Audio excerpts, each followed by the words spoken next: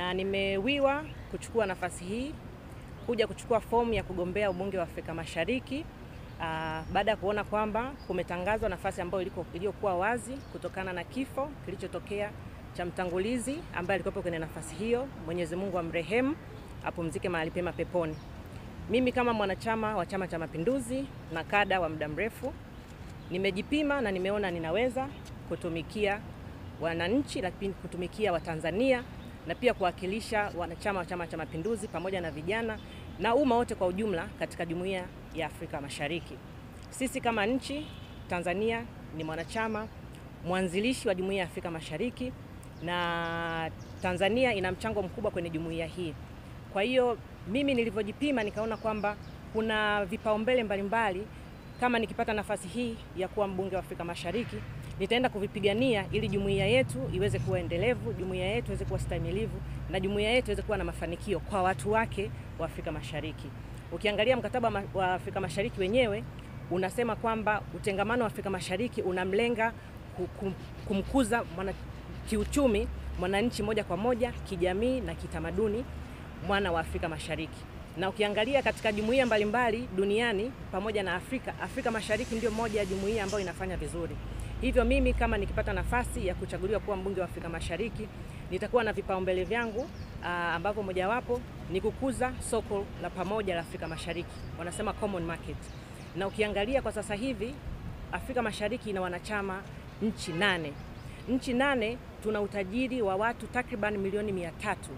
Hili ni soko kubwa la sisi kama nchi ya Tanzania kuweza kuuza bidhaa zetu kwenye soko hili, kufikisha mazao yetu ya kilimo na chakula katika soko hili. Lakini si hapo tu, ukiangalia kuna uh, kipambano changu kingine ni kupunguza changamoto za ushuru wa forodha, wanaisema uh, non tariff barriers.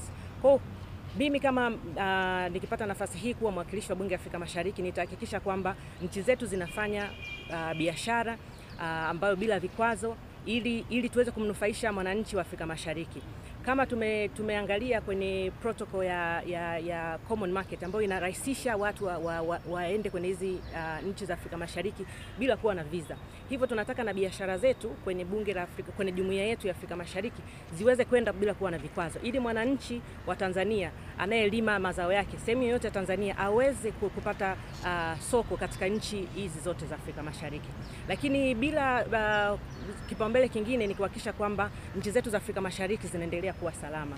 Kama tunavyofahamu Tanzania ni mwenyeji wa makao makuu ya bunge la Afrika Mashariki hapo Arusha, lakini si hapo tu, pamoja na, na muhimili mwingine wa jumuiya ya Afrika Mashariki ambao ni mahakama ya, ya, ya Afrika Mashariki. Kwa ukiangalia hii yote tumepewa uh, heshima ya sisi kama nchi kutokana na usalama uliopo nchini kwetu. Hivyo Tanzania kama nchi ina nafasi kubwa kuhakikisha jumuiya yetu inaendelea kuwa imara na usalama unaendelea kuwepo uh, kwenye nchi zote wanachama wa Afrika Mashariki. Lakini si hivyo tu, uh, napenda kum, kumpongeza Dr. Samia Suluhu Hassan uh, rais wetu uh, wa chama uh, uh, Jamhuri ya Muungano wa Tanzania, lakini pia mwenyekiti wetu wa Chama cha Mapinduzi, kwa sababu yeye ndo amekuwa amekuwa uh, ni kiongozi imara wa kuhakikisha kwamba Tanzania inaendelea kuwa mwanachama mwaminifu, lakini mwanachama wa kuimarisha jumuiya hii. Tunasema kwamba institutional capacity. Tanzania imekuwa ni mchangiaji mzuri wa kibajeti katika jumuiya yetu ya Afrika Mashariki. Nchi nyingine zinasuasua, lakini Tanzania imekuwa ni imara katika kuimarisha jumuiya yetu ya Afrika Mashariki. Hivyo tuna nafasi nzuri uh, kama nchi kama Tanzania, na mimi nikipata nafasi hii nitaenda kuhakikisha Tanzania inaendelea kuwa na mchango muhimu imara katika kuhakikisha jumuiya yetu ya Afrika Mashariki inaendelea kuwa imara na ya kuangaliwa kama mfano. Lakini si hapo tu, mimi ni kijana na kama ni kijana anaenda kuweka mchango zaidi kwa vijana. Vijana tuna fursa mbalimbali katika jumuiya ya Afrika Mashariki, tuna, tuna vipawa mbalimbali, tuna skills mbalimbali, hivyo natamani tuweze ku, ku, ku, kuenda zaidi uh, kwenye jumuiya ya Afrika Mashariki, tutoke katika mipaka yetu ya Tanzania, tuende kwenye nchi mbalimbali, tutafute kazi za ajira, fursa mbalimbali. Vijana wengi wana talanta mbalimbali hapa Tanzania, natamani tuweze kufika nchi zingine, ili huu ujuzi tulionao uweze kufika katika jumuiya yote ya Afrika Mashariki, ili kwa pamoja tuweze kutekeleza kwa vitendo tunavyosema utengamano wa Afrika Mashariki.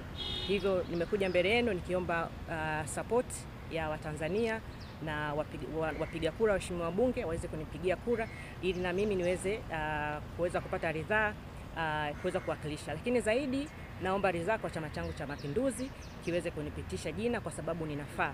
Mimi